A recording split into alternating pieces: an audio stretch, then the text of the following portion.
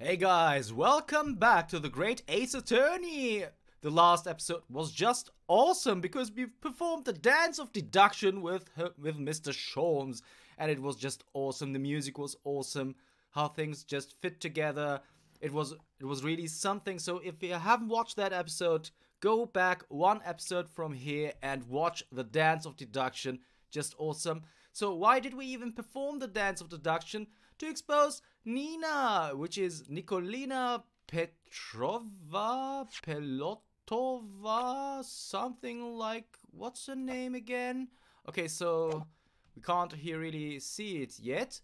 But we exposed her because she looked like this when we entered this cabin and we deduced that this can't be true and she's just someone else. And it turns out it's Nina Pelotova or Nico, uh, Nikolina something something, and Nina is her uh, nickname. So I guess it's time to get a little bit more out of her and uh, see what leads us towards the murder on Kazuma, which we still are actually investigating. So clearly you aren't who you said you were. No, I'm not Grimesby Roylott. My real name is Nikolina Pavlova. Okay, here we go, guys. Everything you said was correct. You absconded during one of your ballet company's performances in order to escape your homeland. Later that... Later that same night, you stole aboard this vessel. Which couldn't have been easy. The Burya is a huge steamship with vast crew. Could you really have snuck on board without being noticed? In order to obscure your true identity, you somewhat recklessly took the guise of an old gentleman. And you intended to se sever all links with your past by severing your long hair. Yet to a woman, hair is no trifling matter. My personal recommendation is to leave well alone. So, if it was just you about to cut off your own hair, who was it that let out the scream we heard from outside the cabin? The veritable tinkling of a bell! Why, none other than this young lady, naturally. More like a full set of pipes, if you ask me.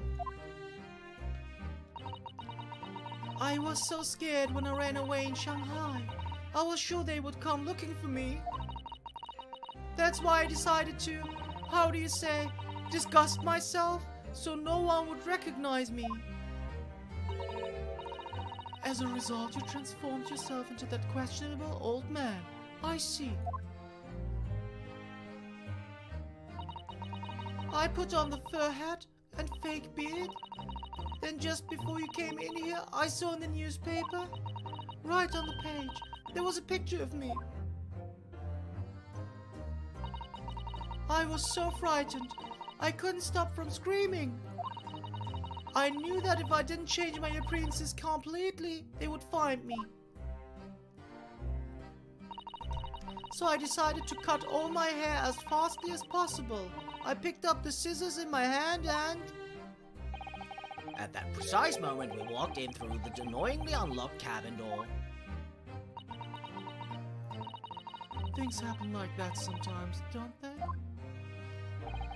Things do indeed happen like that, from time to time.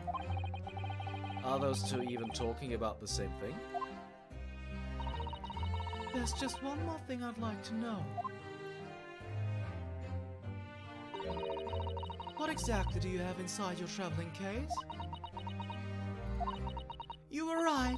It is my dear friend inside. My only friend in the whole world. Please, don't tell anyone. If the captain finds out, if you say to any of the crew. Your secret is safe with us, I assure you. But in return, you must tell us in as much detail as you can muster about the events of last night.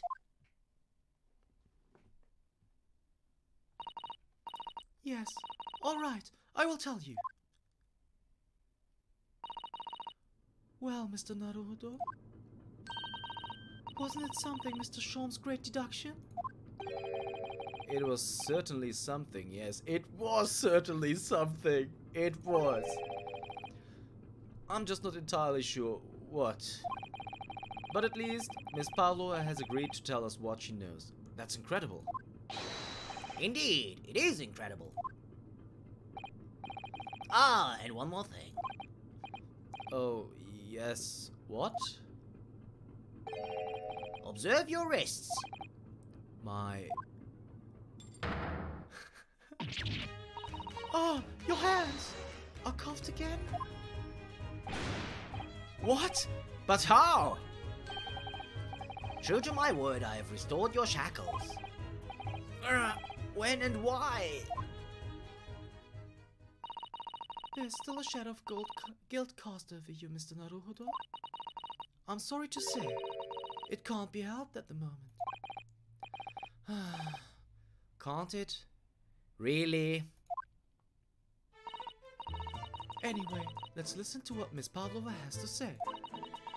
I can't go on not knowing. I have to find out what the speckled band that Kazuma-sama wrote about in his diary really was. Alright, so. Do we. Ex- no, we just converse. What happened last night? Did you know that someone was killed in the cabin next door to this one last night? One of the crewmen told me this morning when I was eating breakfast. The man who died. He was a friend of mine. Oh, That's why we're trying to find out what happened. Did you notice anything unusual last night? perhaps you heard a strange noise, for example. Perhaps people talking. Perhaps the ship was absorbed in a wild tempest? Perhaps its steam engine exploded? Perhaps everyone on board would have noticed if that happen- had happened. Miss Pavlova, is there anything you can tell us? I don't know. I'm sorry, but all I could think about last night was that I had done and whether they would find me. I didn't notice anything that was happening around me. Oh, I see. Okay, she didn't notice anything. That's unfortunate, but let's talk about her. Sorry, guys. You've run away from your ballet company, haven't you? The Norwich Ballet? Yes. I am traveling to Great Britain and from there, I want to go to America. I will never dance again. I want to forget everything about the ballet. I will start a new life. You wish to forget? A challenging proposition. When you have the striking tiara as a reminder. But the tiara is mine. I need it to live.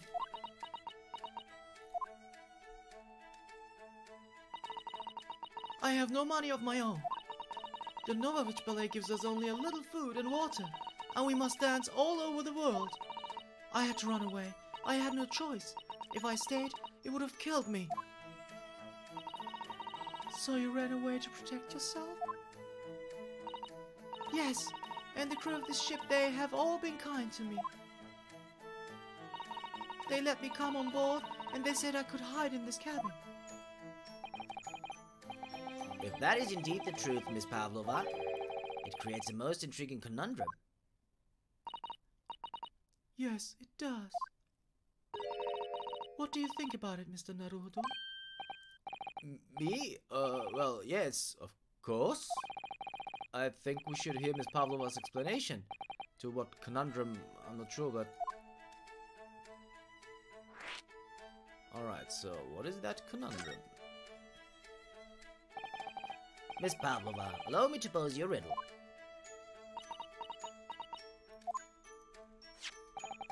According to this newspaper, it was only yesterday that you absconded from the ballet. Now, that being the case, it must have been last night that you boarded this vessel.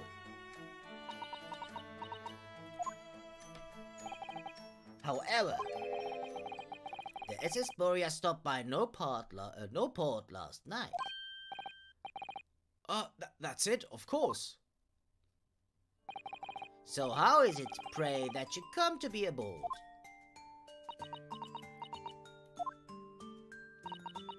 Now that I think about it, the crewman outside the cabin acted very strangely when we mentioned that.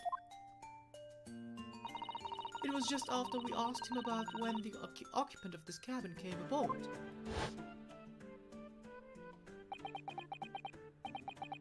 That is not your business. Yes, you're right. He did seem to be hiding something.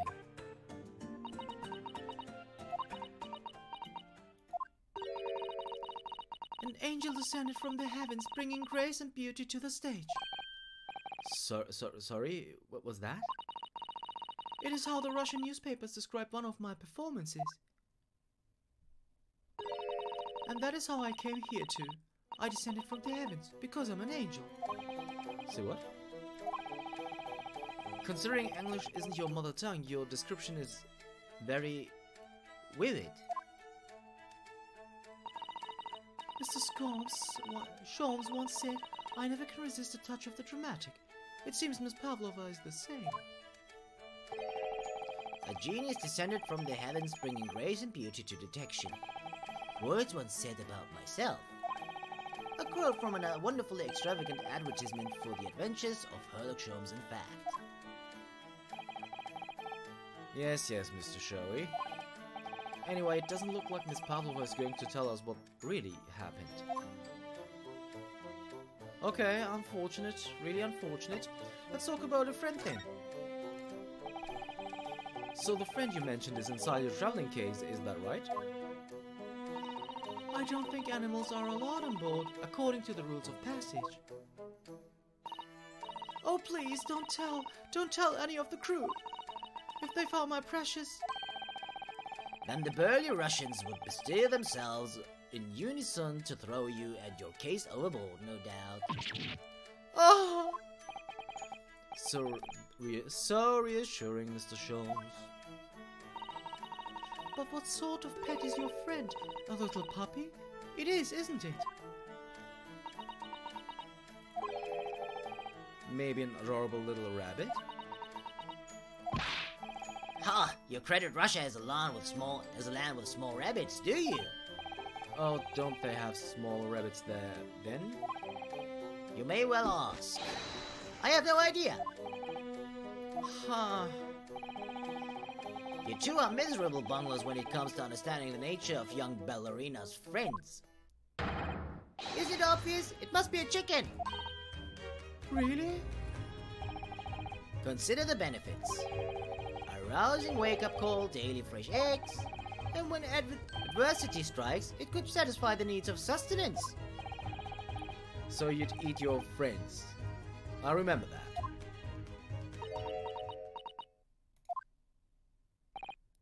Well, it would appear this friend's identity is a closely guarded secret not to be revealed. Ha ha ha! She obviously doesn't quite trust us yet. There's something I should like to show I should like to show her, I think. Maybe she might be able to shed some light on it. Okay, what might that be though? What do we want to not the paper seal? Not this. The article about the revolutionary maybe? Let's present it. Miss Pavlova, about this article. Did you know about this merciless revolutionary, revolutionary already? No. But when I saw the picture, I couldn't believe it. He looks just like my, me in my disguise. Huh? Am I the only one around here with eyes? The other man, the one wearing the brown, he also said so. He said we look the same. Yes, he says a lot of things, but I have a strong feeling that besides you and the great detective, you won't find another soul on this ocean who thinks there is any similarity there at all. Mr. Naruto, I won't allow you to speak ill of Mr. Scone, uh, Sholmes. No, no, I wouldn't dream of it. Okay, so is it the diary? Hmm. Let's examine the everything here first.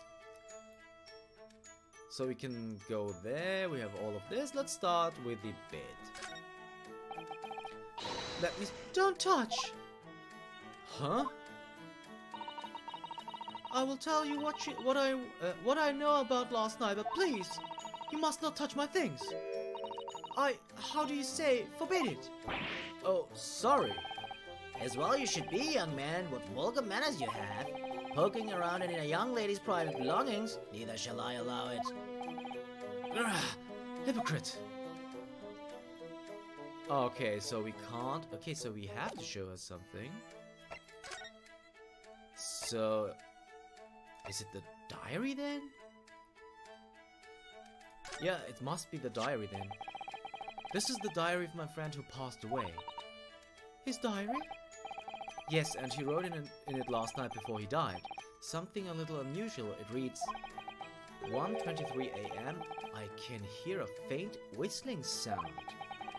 And then a few minutes later, 1:35 a.m. What looks like some sort of speckled band is dangling from the ventilator grill. A speckled band? I don't understand. It's strange, isn't it? But the ventilator he mentions joins to this cabin, you see. It's up there on the wall. In other words, this cabin and the victim's cabin are connected together. Oh. Miss Pavlova, has something occurred to you? Does the speckled band the victim mentioned mean something to you? Or the whistling sound, perhaps? No, I don't know anything. Oh.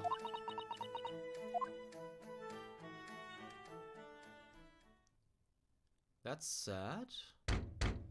Knock knock. Excuse me, Miss Roylott? Mr. Roylott? Yes, what? Wow, she's fast. Captain would like to speak with you. You must come to Captain's quarters at once, please. Oh, all right, I will come now.